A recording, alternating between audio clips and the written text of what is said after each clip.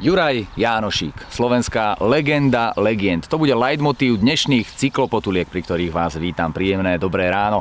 Dnes si ukážeme kraj práve okolo Terchovej, okolo rodiska Juraja Jánošíka. Ponúka naozaj množstvo nádherných cyklotrás, krásne výhľady a dnes máme naozaj úžasné počasie, tak sa máte na čo tešiť. Užite si dnešné cyklopotulky z RTVS. V rodisku Juraja Jánošíka nechýba jeho múzeum, ktoré nájdete hneď vedľa obecného úradu.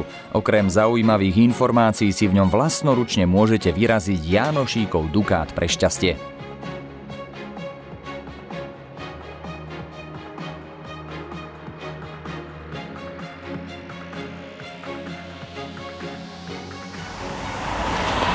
Dobré ráno. Ahoj, vítaj. Dobré ráno, ahoj. Toto je Peter Chrapčiak, z okolností môj rodák z Revúcej. Stretávame sa v Terchovej na kryžovatke mnohých ciest. Toto tu naozaj vyzerá ako Janošíkov kraj cyklistický raj, je to tak? Určite áno, máme tu množstvo cyklotrás, e, ťažšej aj ľahšej úrovne, takže cyklisti si to tu u nás určite užijú. Za kostolom svätého Cyrila a Metoda vo Farskej záhrade sa skrýva výstava diel Medzinárodného sochárskeho sympózia, ktoré sa tu pravidelne konávalo. Z centra Terchovej sme sa vybrali hľadať rodný dom Juraja Jánošíka. Stúpanie do osád po žltej značke je výbornou rozcvičkou, no tie výhľady stoja za úsilie. Na vrchole sa vám otvorí pohľad na veľkú i malú fatru. Na raz cestí s turistickými informáciami nedávno stála drevená krčma, ktorú postavili filmári pri nakrúcaní filmu Pravdivá história o Jurajovi Jánošíkovi a Tomášovi Uhorčíkovi, režisérky Agnešky Holand. Takýchto tabúl sme po ceste videli celkom dosť. Vyzerá to tak, že tento chotár, nielen Janošíkov, ale všeobecne v Žilinskom kraji, veľmi dobre značený pre cyklistov. Áno, sa nachádzame s okolností na naučnom chodníku, že tak ako sme prichádzali od Šipkovej, zelená značka cez osady zaniknuté osady Smekovci, Janošikovci. Dokonca ešte tam žije Janošik, živý Janošik, ešte by sme ho možno našli. Ale každopádne odporúčame nádherné výhľady na rozsudce. Myslím si, že každý z týchto pohľadov stojí za tie vyšlapané metre.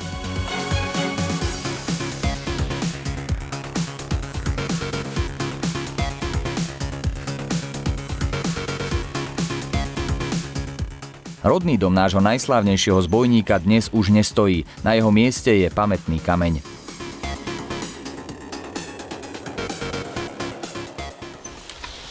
Hop, tak sme tu. Na tomto mieste sa v roku 1688 narodil Juraj Jánošik. Dnes je tu teda iba táto pamätná skala. Prečo? Dom už znil, zanikol, ale na jeho pamiatku sa rozhodli obecní predstavitelia osadiť aspoň tento kameň v jeho rodnej osade. Dostaneme sa sem odbočkou, vlastne malou odbočkou do kopca. Malou odbočkou, hej, z cyklotrasy po žltej turistickej cez osadu Janošikovia.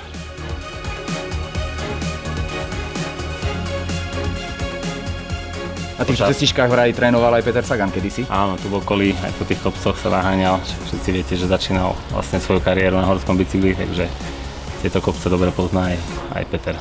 No a s Petrom Zánickým, bývalým trénerom Petra Sagana, vlastne teraz hľadáte v cyklokempe Petra Sagana každé leto nové talenty.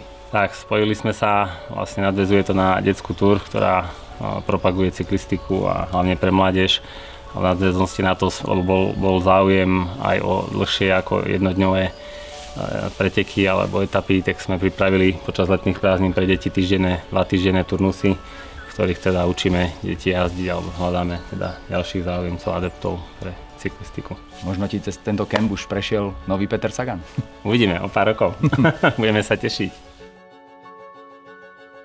Ďalší nádherný výhľad sľuboval výjazd na vrch Mravečník, ktorý má 993 metrov. Úchvatné ocenenie na seba nenechalo dlho čakať. 360 stupňová panoráma nám zobrala ťažko lapaný dých ešte raz. My sme v nádhernom počasí dokonca videli aj vysoké Tatry. Zjazd mravečníka je možný dvoma spôsobmi. Žltá cesta je skratkou priamo do Terchovej, no na približne 3 kilometroch sklesáte o 500 výškových metrov. Je to naozaj dosť, preto sa táto cesta udáva ako jednosmerka. Hore by ste zrejme bicykel museli len tlačiť a preto tu zrejme nie sme. Navyše je tento zjazd veľmi ťažký a technický, určený len pre skúsených cyklistov. My sme zjazdili zelenú cestu 5441, po ktorej sme vyšli, hoci sa dá aj pokračovať a zísť druhou stranou. Obe cesty sa stretnú na štátnej ceste medzi Kubíkovou a Lutišami. Tam sa možno napojiť na modrú značku, vpravo nás to zaviedlo až na Bystrickú magistrálu. Tá vedie prakticky z Krásna nad Kisucou až po Novú Bystricu. Táto cyklocesta nás zavedie aj k vyhľadávanému turistickému bodu v Starej Bystrici.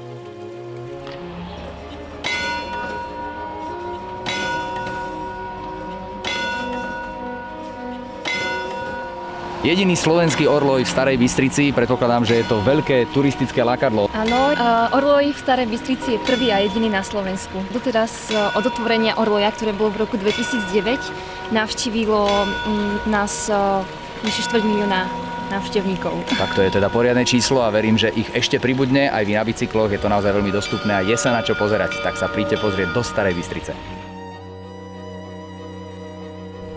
Obľúbený takmer 29-kilometrový okruh okolo vodnej nádrže Nová Bystrica ponúka prevýšenie 600 metrov.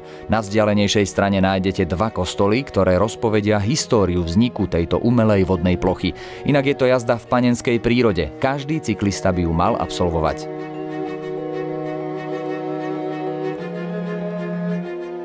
Organizácia cestovného ruchu Malá Fatra urobila pre cykloturistov jednu výbornú vec a to je mobilná aplikácia. Čo v nej všetko môžeme nájsť? Všetko. Nájdete kompletný súbor cyklotrás, ktoré sa nachádzajú v regióne Malá Fatra, to znamená viac ako 640 km cyklotrás. Sú tam zmapované, sú tam vlastne natrekované všetky trasy, sú tam typy na okruhy a sú tam jednotlivé cyklotrasy tak ako sú podľa značenia STN a normy. Znamená, buď si, buď si môžeš ty sám navoliť, ako chceš ísť úsek, podľa čísla cyklotrasy a vlastne podľa mapy, alebo teda si zoberieš nejaký okruh, ktorý v podstate my sme pripravili a odporúčili a ktorý vlastne sa skladá z jednotlivých e, cyklotras e, rôznej farebnosti. Ak by vám jazda na prírodných cestách okolo nádrže Nová Bystrica pripadala ťažká alebo nepohodlná, tak si môžete z aplikácie cyklotrasy Malá Fatra vybrať napríklad asfaltovú Kisuckú cyklomagistrálu, ktorá vás zavedie až do Oravskej lesnej.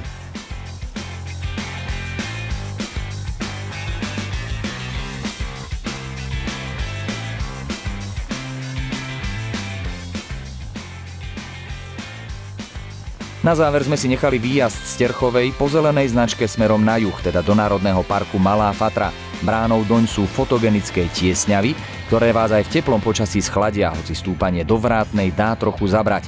No zas a znova otvorí sa vám nádherný výhľad na masív chlebu a veľkého kriváňa.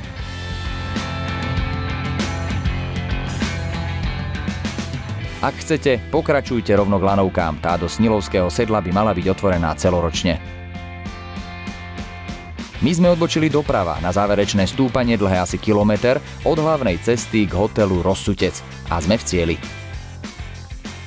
Hotel nad Terchovou by bol perfektnou poslednou zastávkou našej cyklopotulky, pretože je tu relax centrum aj s wellnessom a možno práve preto si ho vybral náš dnešný posledný host, Peter Šimčák z organizácie cestovného ruchu Malá Fatra. Ahoj, dobrý deň. No, vítajte. Pretože je to tu výborne značené a je tu množstvo perfektných, kvalitných cyklociest, to sme zažili na vlastnej koži, tak čo sa ešte chystá? No, v spolupráci s mikroregiónom Tešovská dolina chystáme veľkú novinku pre e, cyklistov v našom kraji. Snažíme sa o prepojenie vodného diela Žilina s Terchovou novou cyklomagistrálou. Momentálne sa pracuje na projekte a projektovej dokumentácii. Mala by to byť cyklotrasa, ktorá povedie v blízkosti rieky Varinka. Mala by byť nenáročná, mimoúrovňová pre rodiny s deťmi a prepájať Žilinu s Terchovou. Z toho, čo hovoríš, e, je to jednoznačné, že dnes sme to nemohli stihnúť úplne všetko a že je tu toho naozaj oveľa, oveľa viac. Presne tak, no, ani týždeň by vám nestačil. No dobre, tak sa všetci stretneme v Malej Fatre. Neváhajte, sadnite na bicykel možno ešte dnes, ak je pekné počasie a vyberte sa možno aj do Malej Fatry. Sledujte cyklopotulky aj o týždeň na RTVS. Dovidenia. Dovidenia.